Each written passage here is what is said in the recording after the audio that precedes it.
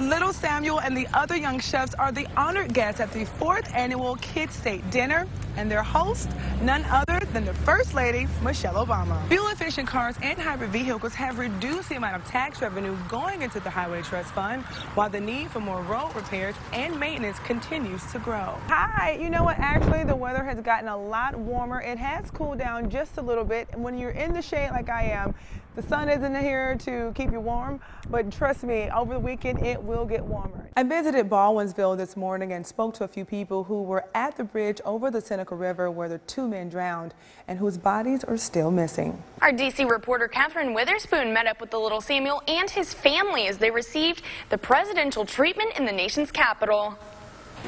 This is a dream come true. For most, an invitation to the White House is just that, a dream. But for 11-year-old Samuel Davis, one of the lucky winners of the Healthy Lunchtime Challenge, it's a reality. Once we were in Washington um, a few years ago, I was like, we should go into the White House and meet um, First Lady Michelle Obama, and now I will get to do that. But before the big event, representing each of the states, four territories, and the District of Columbia, all 55 chefs and their families received a private tour of the Smithsonian and the Julia Child's Kitchen.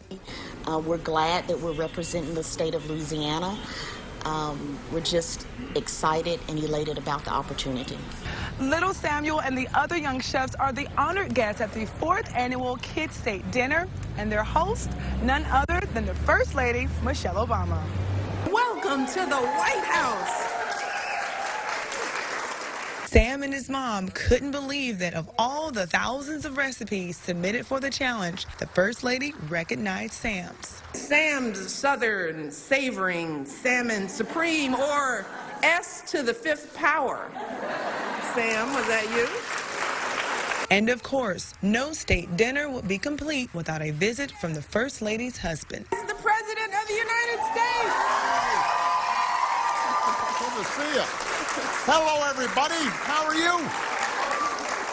So, all right, everybody can have a seat. I'm sorry to crash your little party here, but I just wanted to say hi to everybody. Reporting from Washington, Catherine Witherspoon, KTVE NBC 10.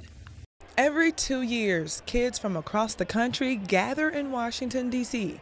Their mission to help find a cure for type 1 diabetes. And when they told me I had diabetes, I had no idea. Like, I didn't even know what it was. It's a place where kids like 12 year old Max from New Orleans get to meet other kids just like him. JDRF has really been such a good place, like, because you can find so many tips and they give you so much products to make sure that you can really have the easiest lifestyle you can with the disease. Because life with type 1 diabetes can be challenging, especially for an 11 year old. Yeah, I have to check my blood sugar 12 to 15 times a day.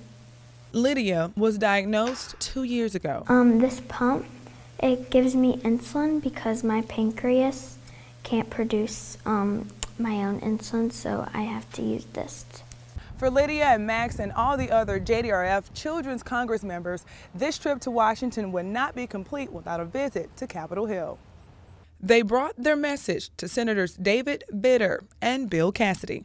I want them to know that diabetes can uh, hurt someone's life and that we want to find a cure.